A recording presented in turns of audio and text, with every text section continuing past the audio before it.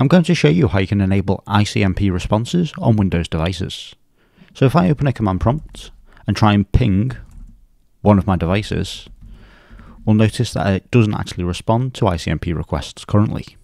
So if I come over to that device and then open up the Windows firewall by pressing the start menu and typing wf.msc, this will bring us into the Windows Defender Firewall Management Console. And under inbound rules, we can right click and press new rule. Then we can create ourselves a custom rule, select all programs, and then under protocol, we can select ICMP version 4, and then we can select next. If we want, we can lock this down so it only responds to requests from specific IP addresses or subnets. So for instance, if we wanted to lock it down to a specific subnet, we can select these IP addresses and add the various addresses in here. I'll just leave this at any IP address and then we can press next. We can then allow the connection because we want to allow the ICMP response. We can select the profiles we want this to be enabled on, whether it's the domain profile, the private profile, or the public profile, and then select next. And then we can give it a name such as ICMP, and then press finish. And now we've got our ICMP inbound rule.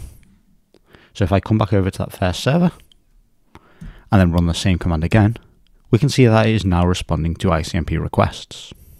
We can also do the same thing using PowerShell. So if I come back over to our firewall and then disable this rule, I can run PowerShell as an admin.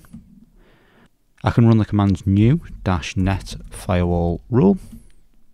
Then we can do dash display name and then we can give our rule a name. So I'll call this ICMP inbound and then we have to select the direction by doing dash direction and then we can either be inbound or outbound. I want this to be an inbound rule so I can just type inbound. Then we have to select the protocol so we can do dash protocol and then type ICMP v4 and then finally we have to do action whether we want it to be allowed or blocked. So if I do action allow and then run that command it will give us the information about what we've just created. So we can see the display name is ICMP inbound and here are the settings. So if we come back over to our Windows firewall and then just give it a refresh, we can now see we've got our ICMP inbound rule, which we've created. And then the protocols and ports, we can see that ICMP is enabled. And if we come back to our primary server, we can see that the ping is now responding again, showing that the rule we created using PowerShell is indeed working.